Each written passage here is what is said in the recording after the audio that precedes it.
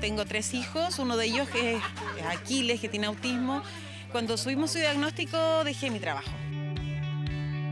De eso pasaron 10 años y recién ahora ya volví a trabajar. Es el sostén de su familia, pero también de sí misma. Grace Soto dice que se postergó durante años porque no lograba compatibilizar trabajo y los cuidados que su hijo requería. En 2021 eso cambió.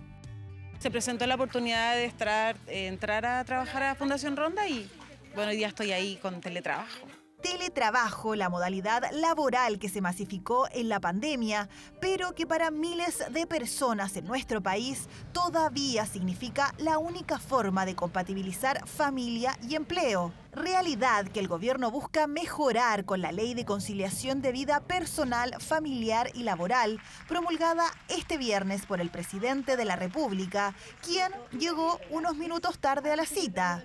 Disculpen el el retraso, me viene corriendo.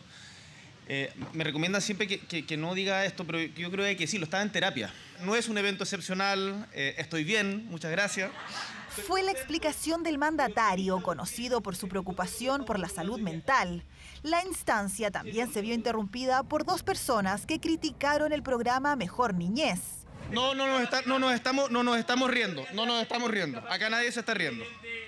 Acá, nos estamos, acá nadie se está riendo y tomamos estos casos muy en serio. Tras el impas, Boric retomó. Las tareas de cuidado en la sociedad chilena están principalmente hoy día a cargo de las mujeres. Y eso no tiene por qué ser así.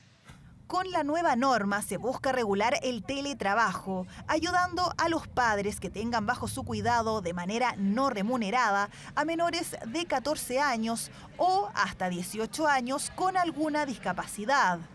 Esta ley ahora cuenta con corresponsabilidad, es decir, que no le asigna a las mujeres el rol predeterminado de ser las cuidadoras y que le abre esa posibilidad también a los hombres.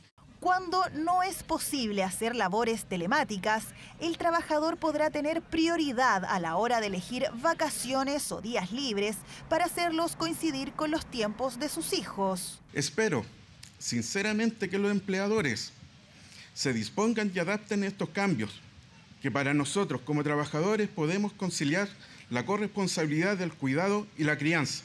Así como Daniel y Grace, el gobierno asegura que más de 360.000 personas podrán beneficiarse con esta nueva ley, que de momento solo será aplicada al sector privado, pero con la promesa del Ejecutivo de pronto extenderla al público.